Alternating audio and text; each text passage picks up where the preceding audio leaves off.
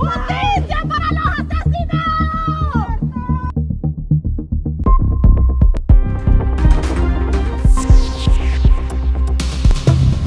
Con el recuerdo todavía vivo de los horrores de la Segunda Guerra Mundial, el 10 de diciembre de 1948, los países que entonces conformaban la Organización de Naciones Unidas suscribieron la Declaración Universal de los Derechos Humanos, entre ellos Nicaragua.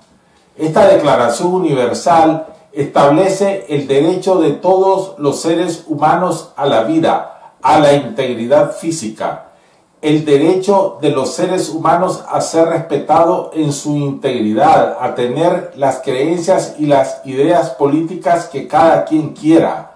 Prohíbe la tortura, prohíbe la esclavitud. Particularmente el artículo 30 de la Declaración Universal dice que nada de lo que hagan los estados puede ir en contra de lo establecido en esa Declaración Universal. Por supuesto, la Declaración Universal de los Derechos Humanos tiene una dimensión moral, por eso es legítima.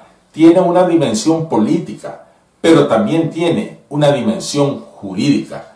Por eso, a partir de la Declaración Universal de los Derechos Humanos, se han generado alrededor de, de 70 convenciones y tratados regionales o internacionales que desarrollan, explican, concretan los derechos establecidos en la Declaración de 1948.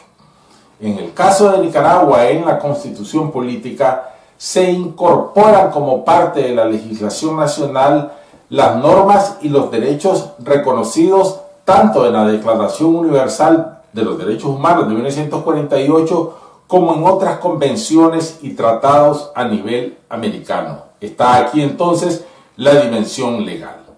Por eso hemos afirmado que cuando Ortega dice que se va de la OEA, no puede eximírsele, no está eximido del cumplimiento de las obligaciones establecidas en esos instrumentos jurídicos, en esas declaraciones que, repetimos, tienen validez legal.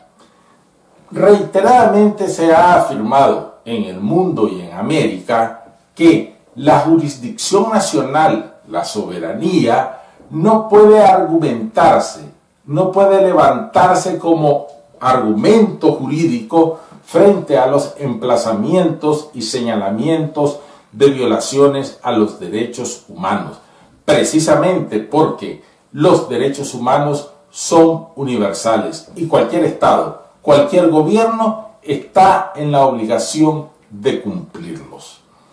Ortega no solamente desconoce y respeta estos compromisos internacionales, incumple, por ejemplo, la sentencia de la Corte Interamericana de Derechos Humanos y por lo tanto se convierte en un delincuente a nivel internacional, porque está incumpliendo los tratados y los compromisos internacionales.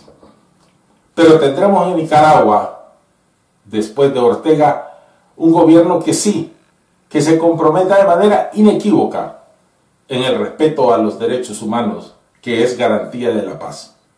Soy Héctor Mairena y este fue mi comentario semanal.